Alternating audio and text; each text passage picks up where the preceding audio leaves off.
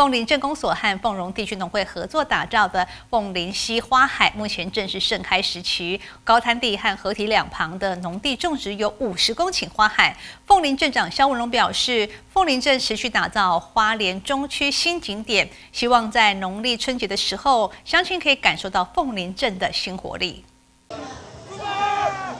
连续第二年打造的凤林溪花海，目前正是盛开的时期。镇长肖文龙表示，将重新整治凤林溪沿岸步道，长度将可达到五公里，可以说是花莲目前最美丽的河岸景观。我们凤林镇公所跟农会呢，这几年呢配合的相当好啊，啊农会呢也肯牺牲奉献了哈。凤林溪这个呃花海啊，目前是。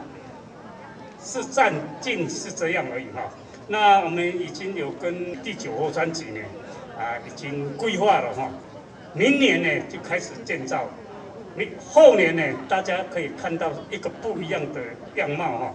我们现在直接呢能一直做做到做到最底的呢，大大中路哈，都目前我们走的一遍，所以我们整条路整条河呢都能把它建造好。我相信我们这条河做好哦，全台湾不敢讲了，花莲县到台东没有那么漂亮的一个河川。凤凰地区农会理事长以及总干事也指出，为了这一次的健走活动，也与周边的农地协调种植油菜花田，就是希望在镇长的协助之下，让枫林镇在农业发展上有更好的条件，走出自己的特色。我们镇长跟主席啊，的确哈，这个几年。想要打将我们凤林镇啊打造成一个花城啊！目前看到的这个新景点，还有这个中中和路的延伸到建英大桥那一段啊，还有两公里的油桐花啊，底下又还有这种马丹花啊。那马丹花一年四季大部分都在开花啊，非常漂亮。那边那去那边欠走啊，也是非常好的景点哈。尤其以前我们常看到什么？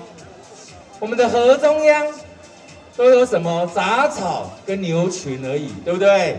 但是由于镇长的角色，把河道整个维护的非常非常干净，而且把我们波斯级种在我们河道中间，再加上我们的水的倒映，说真的，这个场景啊是非常非常唯美的。每一年的健走活动当中，重头戏就是拔萝卜活动，让参加活动的民众与贵宾能够体验儿时的农事生活。大姐拔那么多要回去做什么？洗，要来腌。哦，那么小条。